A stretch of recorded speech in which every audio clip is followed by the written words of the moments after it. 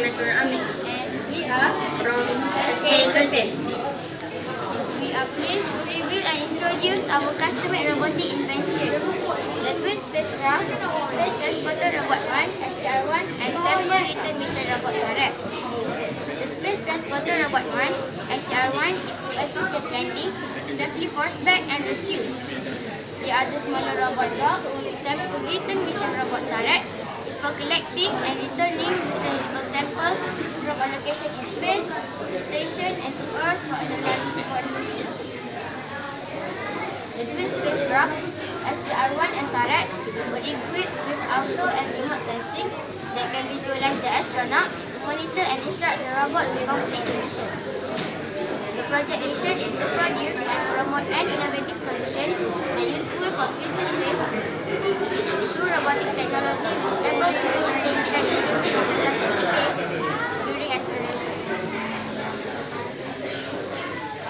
space Transporter Robot 1, STR-1. It is designed as an orbiter or space transporter. It is a mobile station. It will transport the sample return mission robot SARET to the planet. The camera sensor that attached on it will make transfer output to monitor SARET safe landing. It will help the, uh, the astronaut to monitor SARET for sample analysis and sample collection. The double ultrasonic sensor will triple check to measure the distance between the robot and the surface of the planet. It will send the SARET back to the robot and might send it back to Earth for a lab analysis. It is made out of Tetris set and attached to a rail to simulate the movement of space. The two sets of motor will assist the robot to lower down the platform. The two solar panel will provide continuous energy to pump up the robot.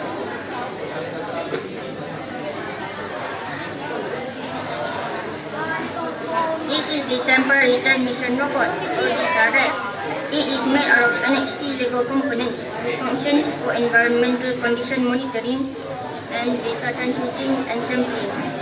On planet surface, SARET will monitor the environmental condition and transmit data.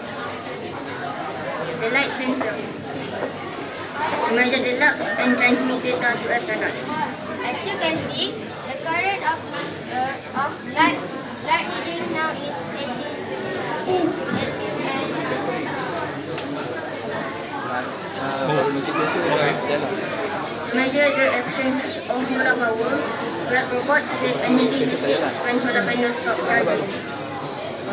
The barometric sensor detect the ambient temperature or pressure and altitude. the reading of, the reading of the pressure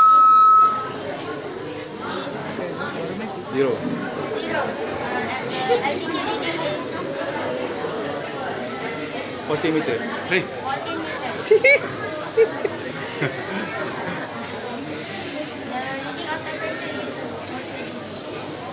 The gyroscopic sensor detect the direction of wind change so the motor, so the motor wave can be moved to increase the swing a steady state is reached. Then maintain the steady state. The PIR sensor to detect any movement of people, animal, and objects that ever contain heat temperature.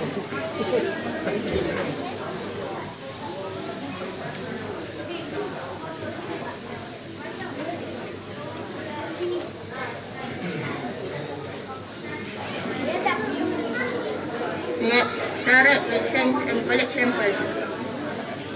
The magnetic sensor to detect the direct, detect detect any magnetic particles and transmit data.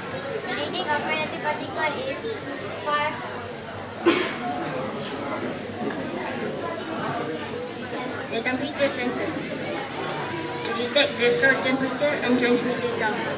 The reading of temperature is 25.9 degrees C. 25.9 degree C.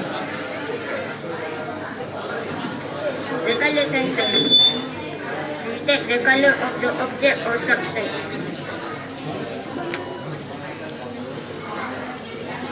Sample collection arrange the sample collection box to ensure that sample collected not easily loosened by the space ring during velocity of the movement to space station. Our twin spacecraft project was designed to visualize the, the scientists and astronauts for future space exploration. And the features was designed to optimize the robot function with multi-sensors and workable sample return mission. Okay. Okay, you just now you explained about the magnetic sensor.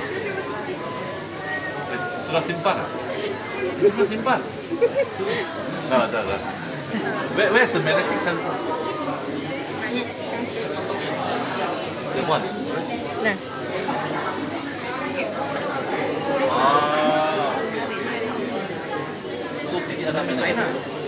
Ah, Ini di kantor. Di kantor.